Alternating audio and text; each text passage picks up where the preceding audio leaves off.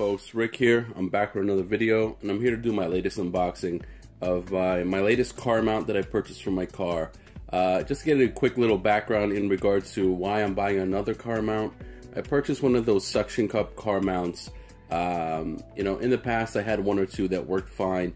Um, but with the suction cup car mounts, it's kind of like hit or miss. I have one or two that have great suction and I have another one or two that just keep falling off. So the last one that I purchased uh, for $7.99 off of Amazon, just after a month or two, just fell off and just refused to stick onto my dash. It was fine for a month or two, but then after that, I guess the uh, stickiness on the bottom of the suction cup was the only thing holding it onto my dash, and there really wasn't much suction. So without further ado, let's get into this unboxing. So real quick, I decided to uh, purchase my first magnetic um, car mount. One, because I just purchased a new car and I just wanted that low profile. If I could get into it. I don't have my unboxing knife with me, so bear with me guys. Okay. So I purchased it from a company called uh, Alari, or I'm probably not pronouncing it uh, properly. Alari, Rayleigh, whatever. Uh, I'll leave a link in the description below of where I purchased it. I purchased it on Amazon, I believe, for about 10 bucks. Okay, so here's how it looks. pull it out. So what you have here is basically a magnetic ball. Okay, the base here is supposed to have uh, 3M adhesive, so it's supposed to be really strong and sturdy. And then you have the actual magnetic mount right here. So this would actually, oh, that's pretty strong. Uh, this actually magnetized to this. Uh, you'll put one of these plates in the case of your cell phone and it should stick. Alright guys, we're to try this real quick with my daughter's cell phone with a really thick plastic case and we're to see how strong these magnets are. So again, this is my first time actually using magnetic cases. So I just want to see how this works. The magnet, for the most part, seems fairly strong. So these magnetic, um, I mean these steel uh, plates over here, they actually have 3M adhesive on the back of it. I guess in case you actually want to stick it to the back of your case. You could also stick it to the back of your phone, but I really don't suggest that because then you'll be stuck with a magnetic case on, um, magnetic um, strip on the um, steel magnetic strip on the back of your phone. So I suggest actually placing it in the case. I'm actually going to put the um, this inside like so. And actually adds no bulk or girth to the case. And let's see if this actually works. Okay. So even with a thick case, the magnetic plate sticks. So one of the features that they were uh, touting online is a lot of these magnetic um, if you see the back portion of it a lot of these magnetic uh, car mounts if you try to swivel it it'll kind of like bend off and they claim that this doesn't do that. I guess the magnet is strong enough that it, it doesn't swivel off but as you can see it kind of did here. So maybe a little false advertisement there but for the most part it seems to be working fine. Um, let's see this is a thick case. In addition to that, um, I purchased these other. It was like six bucks along with this, so I paid 15 bucks in total for everything. Uh, I purchased these additional magnetic strips, and if you could see here, were these steel plates. They're similar to the ones I just unboxed, but then you have these two longer plates, I guess for more coverage. So we're gonna try that and see if that helps. Remember, this is a thick plastic uh, case. So maybe by putting the bigger one here, it might have more surface area, more coverage, and it might not pop off when I'm just moving it around. Okay, so here we go. Magnetized, okay, it's on there. Okay, so I'm seeing what they're saying. This does not pop off with the bigger plates, okay? So in the packaging itself with the O'Reilly or whatever the company is called, you get these little circle plates right here with their logo on it. These are good. However, for an extra five bucks, two or three bucks, you can find it on eBay. Uh, if you get these larger plates, you have more surface area to work with. And people who have larger phones, I suggest that you uh, you spend the extra money, spend the four or five bucks, and get these larger plates, because then you have more surface area on the back of the phone, and it really does not pop off when you're moving the phone around. So one of the biggest complaints uh, of people with magnetic cases actually are when you try to move it to the side over here, like with your two fingers, it'll just pop off. Or if we,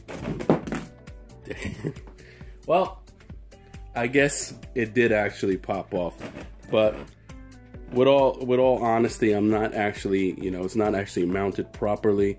Um, this is a magnet, so there is some popping off, obviously, as we just demonstrated. So, do I think these are a good option? I do, because if you're trying to stick to a certain type of look for your car, you're not trying to have a big bulky case, a big suction cup case on top of your dashboard, this is a great option. However, you do have some of those magnetic issues over there like we just demonstrated. So for the most part, the, mag uh, the, the magnetization is, is very strong.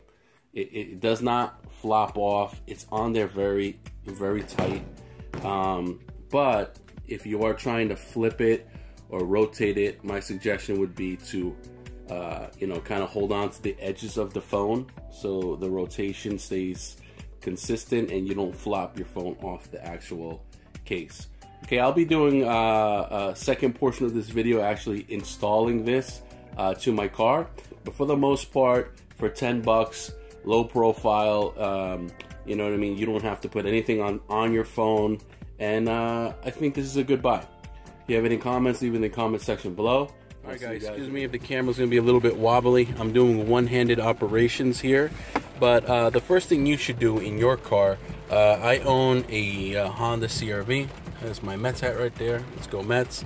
Uh, I own a Honda CRV, and it was really difficult for me to find uh, a place where this will be flush. You know, my first instinct was to put it here, but this is more of like that soft material, and I think it really works best on hard plastics. So my other option was over here, but again, once I had my phone on the clip, it was kind of too far off. No, this is not my phone in my pink case. It is my daughter's. Uh, so no, I do not rock a pink phone. Not that there's anything wrong with that.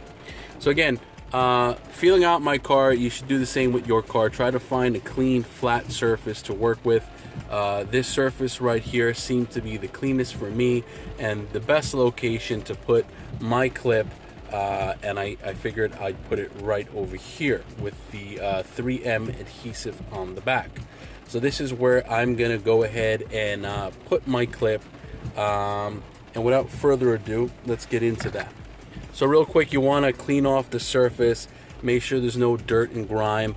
I do have a microfiber cloth right here, so that's what I'm working with. So I'm to pause the video real quick so I could take off the tape. Give me one sec. Alright guys, uh, I had a little bit of difficulty taking the adhesive off, but I finally got it off.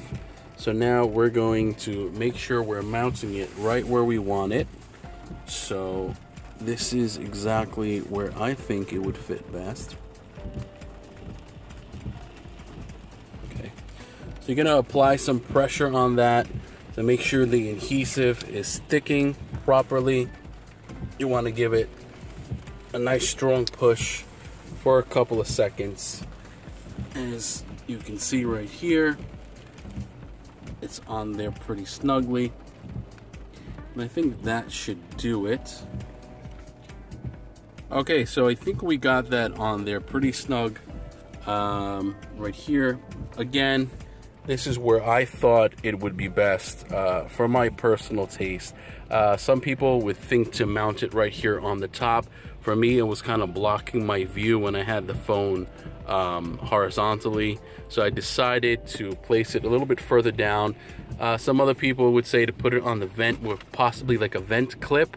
Uh, but I found when you're using the heat or the AC in the car, your phone could get really hot, and that's the last thing you really want with your phone, especially with lithium batteries. So again, just a real quick, just to demonstrate, because I'm filming on my phone, how this works. Boom. I have a magnet on the um, on the back of this case. So obviously you can rotate the phone any way you want. And again, for me, this works perfectly. Uh, if I want to see my, my stereo, obviously I'll turn it horizontally. If I if I if I want to you know use the um, the phone in the other direction, I can go ahead and do so. I do lose a little bit of sight on my stereo, but again, because I have a magnet in the back of this, I could I could rearrange the magnet anywhere I want. You know what I mean? I could pull it forward and back. And again, this rotates fine. It's not really slipping off. The magnet is uh, fairly strong. Uh, again, I'll show you how that works. The magnet is on there. I actually attached a separate magnet that I purchased on Amazon for five bucks. They have those smaller circular magnets that come with it, but I think invest investing in a bigger uh, magnet plate right here, it's like five bucks for like three or four of them. It's really not that expensive. You slap that in between your case if you have a two-part case, or you slap that, um, you know, underneath uh, any regular case, and it should work just fine. And then boom, magnetized. So it's right there. So I know the 3M adhesive probably won't leave a mark or anything. I'm hoping that it won't when they when they go to sell this car. But uh, yeah, guys, that was the installation process of my magnetic car mount. Uh, we're gonna try this out for a few weeks and uh, see how that uh, how that holds up. And this was Rick and Valentina.